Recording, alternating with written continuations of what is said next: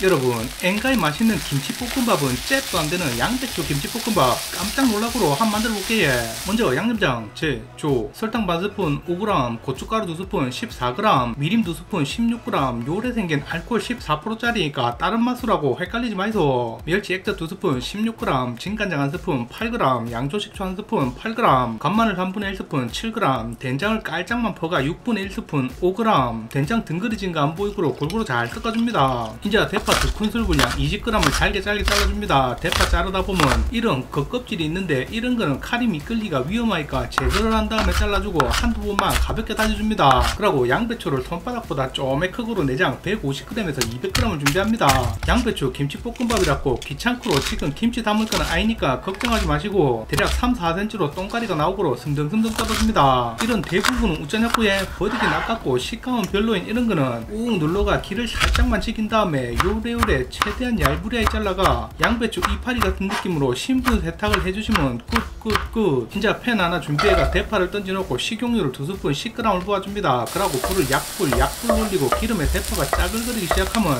대략 1분 30초 정도를 볶아가 파향을 살려주면서 대파가 살짝이 갈색갈색해지기 직전에 양배추를 전부 던져 넣어주고 불을 강불로 올려줍니다. 그러고 한 자리 오래 머물러가 타는 아들이 없그로 골고루 뜯어가면서 1분 정도를 강하게 볶아가 수분이 안 나오고로 강불로 만들어준 다음에 양념장을 전부 다 때려넣고 강불을 유지하고 3, 40초로 볶아주이소. 여기서 주의 사항. 고깃집에서 액기스만 남은 재료에 밥을 볶아 먹는 것처럼 진한 맛을 좋아하시면 밥을 1.2공기 대략 250g 수화가 볶아주시고 좀에 간은 약하지만 충분히 맛있고 양을 넓게가 먹고 싶으시면 밥을 1.5공기 대략 330g을 던져놓고 불을 중불로 바꿔가 볶아줍니다. 근데 김치도 안 담갔는데 와 이게 양배추 김치볶음밥이냐고요? 잘 보시면 양념에서 고춧가루 액젓 마늘 이것들이 김치 만드는 주재료 아닙니까?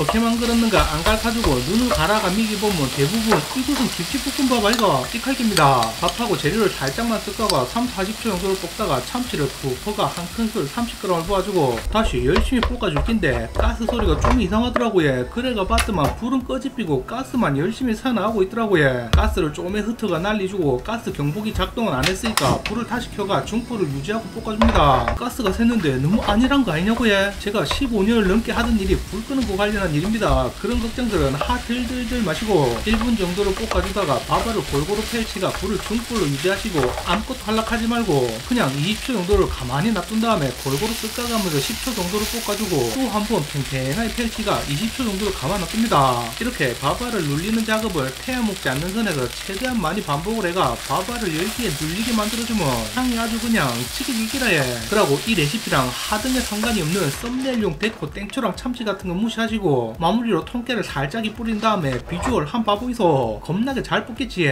김볶은 좋아하지만 양배추를 싫어하는 우리 딸이 김볶 맛이 난다 하면서 양배추까지 다 주워 먹었던 최고의 김치볶음밥. 오늘 한번 찌주고 볶아보이소. 후회가 없겠기라 예 시청해주셔서 감사합니다